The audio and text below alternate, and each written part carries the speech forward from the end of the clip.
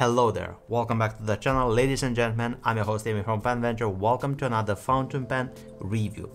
This time we are going to have a good look at one of the biggest fountain pens in my entire fountain pen collection, the Danitrio Genkai.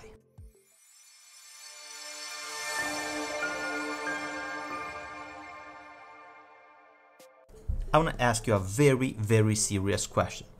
Do you think size matters when it comes to fountain pens or not? Let me know in the comment section down below. Anyway, what we have here today for review it is the biggest fountain pen in my personal fountain pen collection. A very, very impressive fountain pen, which you've been asking for this review for quite some time. In true pen venture style, I'm gonna show you the fountain pen, I'm gonna show some details regarding the company, I'm gonna show you the fountain pen in details, the urushi coating, everything, nib, fountain pen. Then we will have a side-by-side -side size comparison, writing sample, beautiful nib, and in the end, I'm gonna share some of my personal opinions, the company.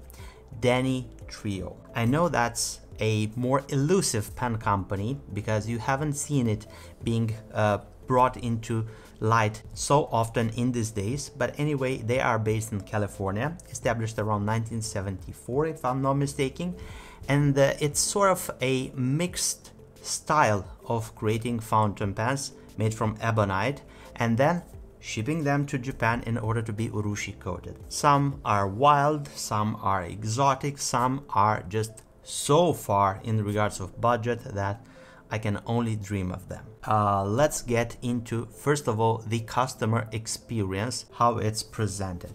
It comes in this box and you may mistaken this for something very very simple but what's inside it's far far from being simple let's slide this right here and you will find a wooden box. Let's lift up this lid and inside you will find a pen sleeve kimono call it whatever you like. I don't know if this is provided by Danitrio or it's from urushipen.com this is the website that i usually get my Danitrios and a sort of device which is an eyedropper made out of glass. Be very careful. This is what you use in order to fill this fountain pen with ink. Inside you will find this gorgeous batoon of a fountain pen. It's the size of a baseball bat. It's so big. Shape-wise, the Danitrio it's a cylindrical fountain pen, flat at ends with the cap diameter being a little bit bigger than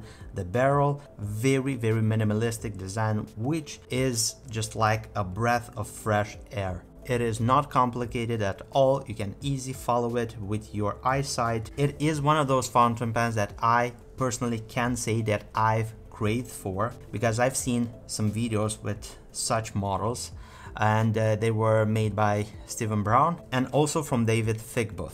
And they presented their Genkais, and I said, one day I'm gonna get mine because it looks so so far apart from anything else at that time that I've seen. And to be honest, in person, it is a very very impressive fountain pen. I know it looks simple. If you have one of this in your hands, you will understand that the simplicity is just like an iceberg. You don't see how much interesting is this fountain pen. You only see the thing that's uh, above the water level. Let's showcase some of the design features of this fountain pen. Let's start with the finial, which is flat like I told you. And right here on the edges, we can see some color variation. We have this beautiful, beautiful yellow color. By now, I think you already know what's urushi. But for those that are watching right now and are not accustomed to the term urushi, urushi is actually the sap of the lacquer tree which is a sort of art form to coat different objects and these layers on this fountain pens are stunning. If you look at them, you can actually see that there is a lot of detail underneath and this finish is built by applying multiple layers of different colors in order to get different effects. This technique is called tame nuri, which is actually described as being like a viewer which is watching a pond and you see that there is different depths and right at the edge you will see the, the bottom of the pond and in the middle you will see a very very dark color. Take a quick look on this fountain pen. There are parts which are visible. You can see the yellow underneath the, the primary color of the urushi coating and in the middle you can see that the fountain pen is a little bit more darker. Danitrio calls this Tamenuri on yellow. Yellow underneath and the urushi coating over this yellow. Let's move further with the cap. The cap is pretty much not changing its diameter at all. Continuing down, we have no trim elements, no clip, no rings, nothing whatsoever. Not having trim elements, it's actually quite hard to identify how many turns of the cap you need to use in order to uncap the fountain pen, but I think are just like two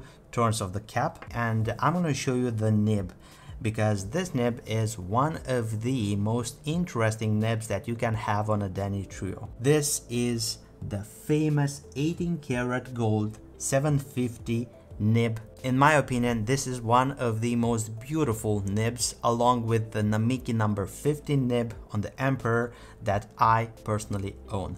This is a size 8 gold nib made by Bock with a very streamlined ebonite feeder which is just simply stunning. A huge nib with a beautiful motif, two tones. We have silver in the middle, we have these two pillars on either tines. Then we have right here stamped Danitrio and the nib size. These fountain pens are available, I believe, in a number of sizes, fine medium, broad and stub. And I got a very, very stunning stub nib on my Genkai. The stub is a little bit more rare if I'm not mistaken, but Jason from urushipen.com made sure that I got a stub and I think it goes so well. A big nib, big fountain pen and the size being a stub. Both the nib and the feeder are friction fitted inside a collar and the collar is screwed in the section making it very very easy to change this nib and also very very practical. The section is very simple, it's sort of hourglass but it has the thinnest point right here around 10 millimeters at the grip and right here we have this flaring out that's going to not let your fingers to slip forward. Then the section starts to pick up in girth and we have the cap threads right here. Those are made in ebonite. They are not coated in urushi the the, the threads are a little bit sharp and not too much but it is very very noticeable. Then we have a step up right here another key area that's displaying the color variation in between the yellow and the other urushi coating which is on top of the yellow. The barrel continues down without changing any diameter and we have this beautiful beautiful coating. Being an area which has a lot of length we can easily identify the technique and also the tools used in order to obtain this beautiful urushi coating because you can see the brush strokes and this is a gorgeous gorgeous uh, visual effect because you know that a hand a human hand of a craftsmanship in Japan lay down this urushi coating on your fountain pen also something unique about urushi you need to understand that the the finish will evolve in time, will change its appearance, its color, and it's normal. And in time, you will see that it's going to be a little bit more darker, maybe a different color, maybe a lighter color. I don't know. All of the elements like the outside sun, uh, direct sunlight, uh, sweaty hands, uh, other elements will in fact decide how your fountain pen will age. Playing with the fountain pen in sunlight, you can actually spot the line that divides the barrel from the shut-off valve of the filling system. The Danitrio Genkai is a eyedropper fountain pen, meaning that there is clear space in the barrel of the fountain pen and you need to unscrew the section and I'm gonna show you this on my other Danitrio Genkai. The short Genkai is not inked, so I can demonstrate how you would need to fill up your Genkai, your big Genkai.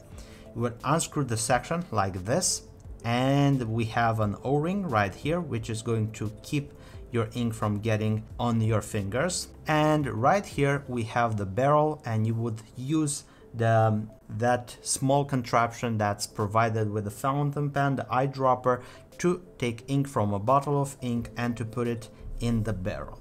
The shut-off valve is actually a feature of this filling system which allows you to control the ink flow you can make the fountain pen a little bit more wet or a little bit more dry and actually you can close the entire flow of ink from the barrel down to the feeder if you close it like so completely right here you will have the signature of the person who applied the urushi coating on your fountain pen. And I do own two Genkais, like I showed you, my short Genkai and the large Genkai. Take a look right here we have the same signature. So it's incredible to know that both fountain pens are made by the same person. And I, I, I love this. I love this. And i think in regards of details this is what i have for you. A genkai it's a very very simple shape a very simple fountain pen yet elegant beautiful oversized quite oversized. And uh, let's get into the side-by-side -side size comparison. But till then i'm gonna tell you how much i paid for this fountain pen this is a very, very entry level color that you can have on a Genkai. And the pricing for such a fountain pen and other entry level colors is around $2,400. And if you want to go above and beyond what this fountain pen is, well, for the very, very ornated level Genkai, you will have to pull out of your pocket and your account around 20 $2,000. Let's go into the side-by-side -side size comparison because this is a big fountain pen. I don't know what to make of it, but this fountain pen barely fits this tray. And I've used it for a lot of fountain pens and every single one of them fit. But this one is just at the limit. So here we have the Danitrio Genkai next to a Visconti Homo sapiens, a short Genkai, a Namiki Emperor, Taccia, Miyabi, Winter's Breath, The Empress with the King of Pen Nib, and Leonardo Momento Zero Grande Nuda. Now let's have a look uncapped because it's a big fountain pen even when it's uncapped. Even in this scenario, the Danitrio Genkai is going to far exceed the length of a Visconti Homo sapiens. It is bigger than a short Genkai. It is a lot taller than a Miyabi Winter's Breath Empress. Leonardo Momento Zero Grande Nuda it is only conquered by the emperor because of the length of the size 50 Namiki nib. So both sections are at the same level, but the nib on the Namiki Emperor being so large, it is going to exceed like I believe half a centimeter more. Kept like this, the Danitrio Genkai is measuring 174 millimeters. Unkept like this in writing position is going to measure 152 millimeters. The total weight of the fountain pen inked and uncapped is 33 grams and capped like this is 50 grams. Wingardium Leviosa. Sorry. Now it is time for the writing sample and uh, just like a tribute I've inked up this fountain pen with SBRE Brown and that ink is a very very special one. And it matches this beautiful beautiful Tamenuri which is yellow brownish and I think both of them go so well together. Pen. Danitrio Genkai. And we have the ink. SBRE brown. And we have the nib 18 karat gold and it's an S from stop this is how it's marked. I haven't opened up the shut-off valve the Japanese shut-off valve of the system and I'm going to show you the difference in between opened and closed. So we have paper TRP, Tomoe River paper 52 GSM. And now the wetness test. So I'm going to show you two different wetness samples. One pass, the valve is closed. This is the sort of wetness that you can expect. Double pass and I would put it to be a medium wet nib, but nothing like overly, overly wet. Now let's open up the shut-off valve completely and to show you that we do have an increase in regards of the ink flow. This is one pass. And it is slightly slightly more but you would need to give it a lot more time in order for that ink to come down. On double strokes you can see. So this is closed. And this is open in regards of the shut-off valve. A stub nib you know by now what it is. It does very very thin lines like this and a little bit broader like this. And it is ground to be a stub it is a little bit more crispy. And we have normal figure of eights and uh, you can actually spot the line variation in between the horizontal and the vertical strokes now we some flex and I wouldn't advise you to push this nib but it is soft so we do have a little bit of give and we have more ink coming out and you can clearly see that is a broader line. Now let's use the famous sentence. Let's check to see how it's behaving. The weak brown fox jumps over the lazy dog. Beautiful fountain pen beautiful writing nib a little bit of feedback crispy. So you need to be a little bit more careful if you just rotate the fountain pen it's going to show that's a little bit crispier than your cursive stub but I don't have anything against that. I do own about a hundred fountain pens so I need to have a little bit more variation and not to have every single nib to write the same. So I do love that this fountain pen has a little bit of personality how it's writing the nib is a little bit more crispy. Now let's get to my personal opinions regarding this monster of a fountain pen because we do have a lot of things to touch in this format. If you only give me a moment to, ah, whatever, it's going to roll off the desk. And uh, you need to be very, very careful with such a fountain pen if it's going to roll from the desk. It's a big fountain pen, has a little bit of weight, and it can drop and can be damaged. Now, we have a, a, a very, very rough surface, tiles, on the floor and uh, if you drop this Urushi fountain pen I think it's going to chip. Point number two on the list. This thing is not going to be so, so, let's say, uh, easy to carry. If you consider carrying this fountain pen with you outside, you have to understand that's a little bit more tricky.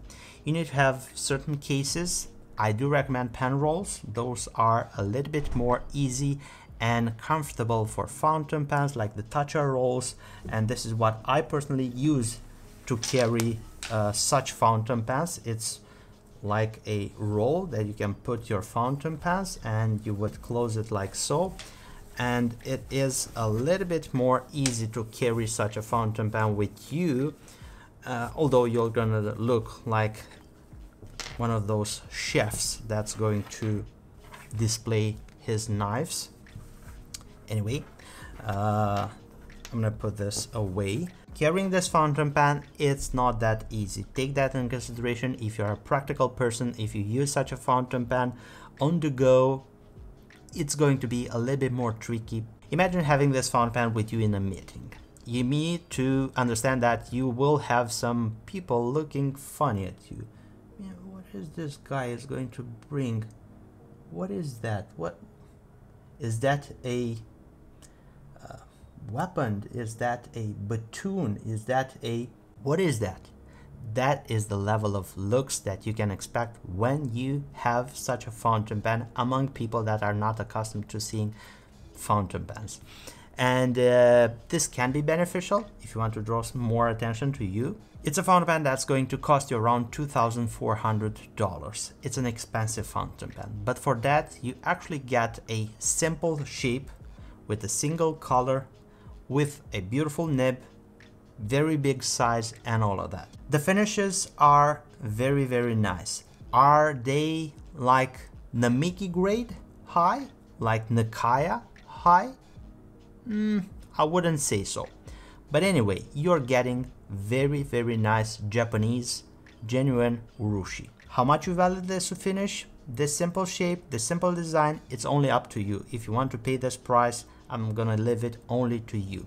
Danitrio has some very, very unique shapes for fountain pens, which are sort of a fusion in between American and Japanese styles. And this is sort of the reason why do I like and collect Danitrio fountain pens, because there isn't anything else that can be in that uh, shape and also in so many finishes. So this is why I like to collect Danitrio fountain pens. It's a relative comfortable fountain pen for its size. It's not going to be postable and I don't know why you would need to post a fountain pen which is measuring around 152 millimeters in regards of the length. It is a very very balanced weight it is evenly distributed it's made out of ebonite this makes it a little bit more easy to wield and to use. It doesn't have so much weight, although the size of it is big. The size 8 gold nib fits very very well. I couldn't imagine such a fountain pen with a size 6 nib on it. The grip section, it has a diameter which I consider to be very very manageable for any hands and I do have small hands. I do own a number of Danitrio fountain pens and I've seen that in time with use that o-ring it's going to lose its ability to keep the ink uh, into the barrel and sometimes some ink will find its way on your fingers getting your fingers dirty or inky. And uh, pretty much that's it. If you are interested to acquire such a fountain pen i'm gonna leave you the link down below where i had mine from urushipen.com and you can enter there and search the one that you will like in the finish that you like and if you have any other questions regarding the Genkai, let me know in the comment section down below. I will be more than happy to answer all of your questions. Uh, also, if you scroll down a little bit, you'll find the details for our website, PenVenture, our social media accounts, email, phone number, anything and everything that you may need in order to get in contact with me. If you are looking for a next writing instrument, have it from PenVenture, I will be more than happy to help you. If you want to support the growth of the PenVenture YouTube channel, don't forget to give this video a big thumbs up. This will help me a lot with the YouTube algorithm. If you're not subscribed now, just go there, click subscribe right now, support us. And if you want to watch more content from PenVenture, I'm gonna leave you this video right here. You can click and enjoy. As always, I'm your host Amy from PenVenture, and I look forward to seeing you next video.